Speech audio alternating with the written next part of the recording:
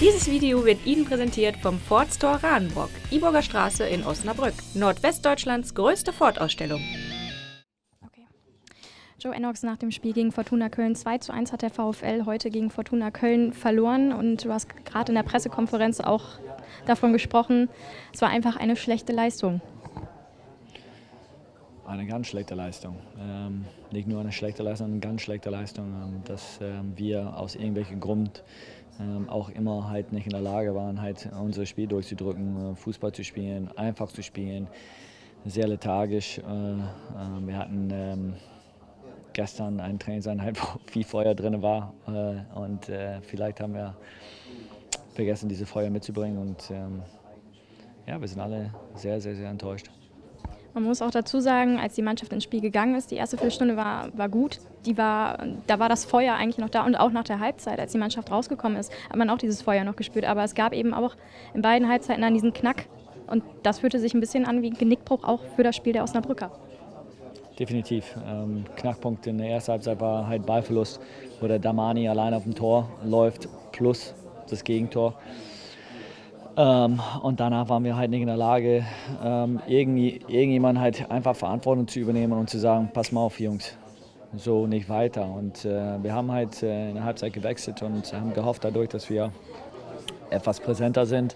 Ähm, kurz, kurze Zeit waren wir präsenter und danach halt äh, wieder nicht mehr. Und dann hat man gesehen, äh, wenn, äh, wenn der Kopf nicht mitspielt, dann ist es problematisches Fußballspielen. Kannst du einmal die Stimmung gerade in der Kabine beschreiben nach Abpfiff? Ja, ich kann nur von mir sprechen. Also ich bin wahnsinnig enttäuscht. Ähm, ich habe das Gefühl, dass wir halt 35 äh, Mal ähm, in der Saison ordentlich also Gas geben und das bringen, was wir in Augsburg sehen wollen.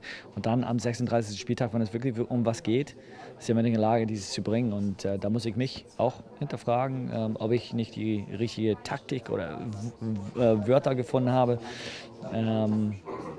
Fakt ist, dass wir ähm, heute angefangen haben ähm, ähm, mit einer erfahrenen Mannschaft ähm, und äh, waren nicht in der Lage, durch diese Erfahrung halt äh, ja, Leistung auf den Platz zu bringen. Und ähm, ähm, es ist wahnsinnig schwierig für halt Spieler, die ähm, eingewechselt werden, ob das ähm, ein Steppen Tigges ist, der auf, aufgrund der Gelb-Rot-Gefahr von Nasim Sagare äh, früh gekommen ist, oder ein, oder ein, ein Adi Menger ähm, halt sich ins Spiel zu finden, wenn halt die Unsicherheit, Unsicherheit da ist. ist äh, ähm, ist problematisch und äh, leider hat, äh, hat äh, Tigges sich da anstecken lassen und äh, war komplett unsicher, komplett von der Rolle.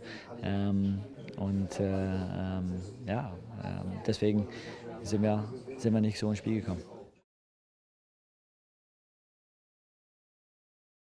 Mark Haider musste auch verletzt vom Platz. Ähm, Gibt es da schon irgendwelche Neuigkeiten, ähm, wie es ihm jetzt geht? Verdacht auf Innenbandriss ähm, und Meniskus. Ähm, der wird halt uns jetzt in den nächsten Wochen fehlen. Auch nicht ordentlich gespielt äh, mag, aber zumindest hat man das Gefühl, dass er halt äh, sich reinhängt und äh, dadurch, dass er halt alleine gegen drei Leute sich durchsetzen müsste, weil er schlechte Ballkontakt hatte, aber ähm, hat, er hat versucht, sich gegen drei Leute durchzusetzen und es verletzt sich und ähm, ich finde es schade. Ja. Vielen Dank. Danke.